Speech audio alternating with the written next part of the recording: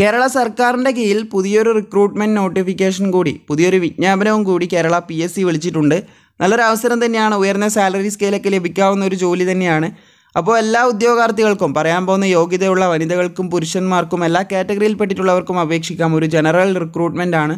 നമുക്ക് വന്നിട്ടുള്ള ഈ റിക്രൂട്ട്മെന്റ് നോട്ടിഫിക്കേഷന്റെ എന്തൊക്കെയാണ് പറഞ്ഞിട്ടുള്ള ഡീറ്റെയിൽസ് എന്നുള്ള മുഴുവൻ വിവരങ്ങളും നമുക്ക് വീഡിയോയിലൂടെ തന്നെ നോക്കാം. നമ്മൾ പറഞ്ഞതുപോലെ തന്നെ കേരള സർക്കാരിന്റെ കീഴിലാണ് പുതിയൊരു സ്ഥിര നിയമനവുമായിട്ട് പുതിയൊരു വിജ്ഞാപനം കേരള പി എസ് സി വിളിച്ചിട്ടുള്ളത്.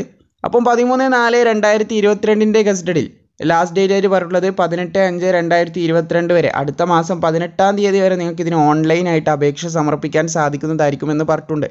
അപേക്ഷിക്കേണ്ട മെത്തേഡ് നോക്കുകയാണെങ്കിൽ ഈ ഒരു കാറ്റഗറി നമ്പർ പ്രത്യേകം ശ്രദ്ധിച്ചിരിക്കുക. പൂജ്യം അമ്പത്തിരണ്ട് ബാർ രണ്ടായിരത്തി ഇരുപത്തിരണ്ട് എന്നൊരു കാറ്റഗറി നമ്പറിലൂടെ കേരള പി എസ് സിന്റെ ഒഫീഷ്യൽ വെബ്സൈറ്റിൽ വൺ ടൈം രജിസ്ട്രേഷൻ കംപ്ലീറ്റ് ചെയ്തവരാണെങ്കിൽ വെറും അഞ്ച് മിനിറ്റിന്റെ ഉള്ളിൽ തന്നെ ലോഗിൻ ചെയ്ത് നിങ്ങളുടെ പ്രൊഫൈലിൽ കാണുന്ന നോട്ടിഫിക്കേഷനിലൂടെ അപേക്ഷ സമർപ്പിക്കാൻ സാധിക്കുന്നതായിരിക്കും.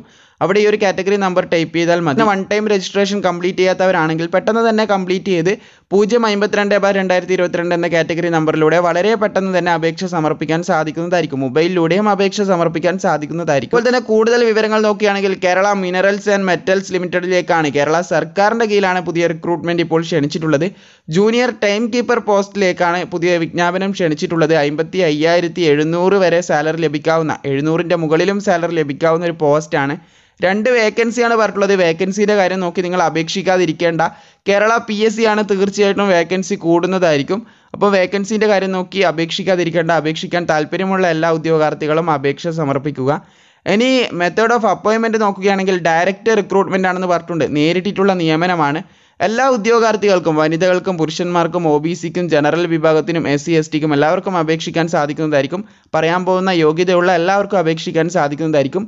ഏജ് ലിമിറ്റ് നോക്കുകയാണെങ്കിൽ പതിനെട്ട് ടു മുപ്പത്തി ആറ് വയസ്സ് വരെയുള്ള ഉദ്യോഗാർത്ഥികൾക്ക് അപേക്ഷിക്കാൻ സാധിക്കുമെന്നാണ് പറഞ്ഞിട്ടുള്ളത്. കാൻഡിഡേറ്റ് ബോൺ ബിറ്റ്വീൻ രണ്ട് ഒന്ന് ആയിരത്തി തൊള്ളായിരത്തി എൺപത്തി ആറിനും അതുപോലെ തന്നെ ഒന്ന് ഒന്ന് രണ്ടായിരത്തി നാലിനും ഈ ഒരു ഡേറ്റിലും ഇതിന്റെ ഇടയിൽ ജനിച്ച ഉദ്യോഗാർത്ഥികളും ഉണ്ടാവും അവർക്ക് മാത്രമാണ് അപേക്ഷിക്കാൻ സാധിക്കുക. ഒ ബി സി വിഭാഗത്തിനും അതുപോലെ തന്നെ എസ് സി എസ് ടി വിഭാഗത്തിനും പ്രായത്തിൽ ഇളവും ലഭിക്കുന്നതായിരിക്കും. ഇനി ഇതിന്റെ എഡ്യൂക്കേഷൻ ക്വാളിഫിക്കേഷൻ എന്താണെന്ന് നമുക്ക് നോക്കാം. Bachelor degree from a recognise university recognised by U G C ആണ് പറഞ്ഞിട്ടുള്ളത്. ബാച്ചിലർ ഡിഗ്രി ഉള്ളവർക്ക് അപേക്ഷിക്കാം. അതും റെക്കഗ്നൈസ്ഡ് ബൈ യു ജി സിന്റെ കീഴിലായിരിക്കണം എന്ന് പറഞ്ഞിട്ടുണ്ട്. അല്ലെങ്കിൽ ഓർ എനി ഏജൻസീന്റെ കീഴിലുണ്ടെങ്കിലും അപേക്ഷിക്കാമെന്ന് പറഞ്ഞിട്ടുണ്ട്. അതുപോലെ തന്നെ one year experience in time keeping functions പറഞ്ഞിട്ടുണ്ട്. ഒരു വർഷത്തെ എക്സ്പീരിയൻസ് ചോദിച്ചിട്ടുണ്ട്. Jazz maintenance of leave and attendance record etcetera in any reputed കമ്പനിയിലുള്ളവർക്കായിരിക്കും അപേക്ഷിക്കാൻ സാധിക്കാമെന്ന് പറഞ്ഞു അപ്പോൾ ഇതൊക്കെയാണ് ഇപ്പോൾ വിളിച്ചിട്ടുള്ള റിക്രൂട്ട്മെന്റ് നോട്ടിഫിക്കേഷന്റെ ഡീറ്റെയിൽസ് ആയിട്ട് പറഞ്ഞിട്ടുള്ളത്.